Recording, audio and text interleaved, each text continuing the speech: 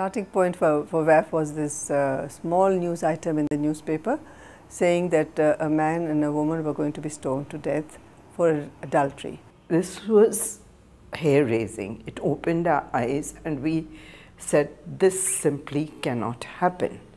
And there's just no two ways about it. We sat there wondering what to do. Next day, we called a meeting of all the NGO people that we knew. At that time, uh, women's rights organizations were not so many. There was just APWA. There was perhaps the Family Planning Association, which was not a women's rights organization, and uh, a few others. Uh, Tehreek-e-Niswan was being born at that time, the uh, theatre, and that was it. That meeting turned out to be a totally crowded one. The room, and it was a pretty large room where we met. And eventually we came to the decision, that same meeting, that we needed a pressure group. What was the pressure group to be called? We went through various things and we came to the name Women's Action Forum. And the first task was to get in touch with lawyers and tell them, ask them how to interpret it, what can be done, what to do or not to do, and then uh, mobilize for uh, helping the woman in that case. And we fought this case. Khalid Ishaq was asked by WAF to take up in the High Court. It was challenged and the um, sentence was set aside. So that was a great victory for us. Oh, before actually, I wouldn't say that it was really heaven for women in Pakistan, but we had no state laws, no legislation against women. Well, there were inadequate legislations. We needed to have more protection, but uh, there were no laws, anti-women laws. It was first made after Ziaul Haq promulgated the Hudud ordinances. Ziaul Haq's uh, impact was being felt by women. They were being, they felt they were being targeted. That the TV anchors had to wear dupattas and the chadar was being given out and was becoming part of the uniform. All that was already happening. On the streets, people were questioning women.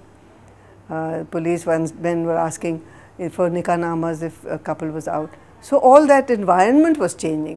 Controlling women, which was not there before. Suddenly, women were being controlled. They were being told how to move around, how to dress up, where to go, what to do, what time. This questioning of a woman uh, and what she should be doing and what she should not be doing coming from the head of the government, uh, of the state. Since when did anyone have the right to uh, be the guardians of morality?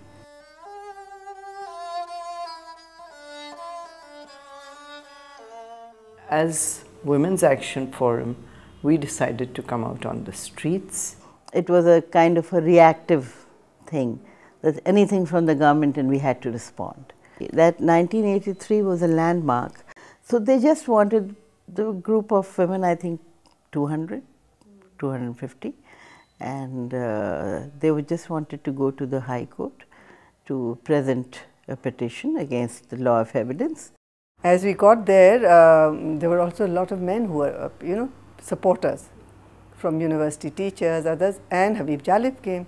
And he came and he started reciting his poem. And as he recited, the police uh, attacked him literally. He was an elderly man, they pulled him. That's when the women sort of all caught up.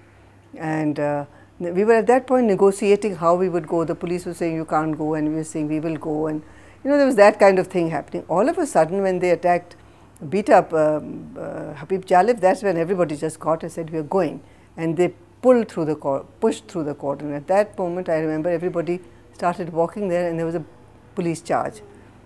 And I, I saw the DSP himself, fat man, coming, he says, tear gas lagao. And, and then the tear gassing started. But the way it was met with the force of the state, they were baton charged, there was tear gassing, they were harassed. And we ran down the footpath and, and I could hear people running behind me and finally I stopped. I said there was no point running because I didn't want to be pushed or something. And uh, the van was coming, the uh, police van and they were putting people in those. But a number of people actually managed to get to the court and uh, Asma climbed the gate and went in and we submitted the petition also.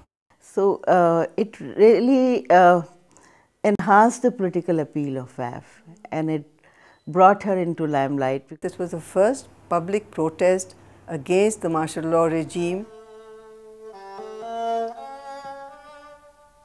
One of the big, I think, uh, contribution of uh, Women's Action Forum is bringing out in the open um, uh, violence against women. I think uh, we were the first ones who talked about crimes against women, we used to call them.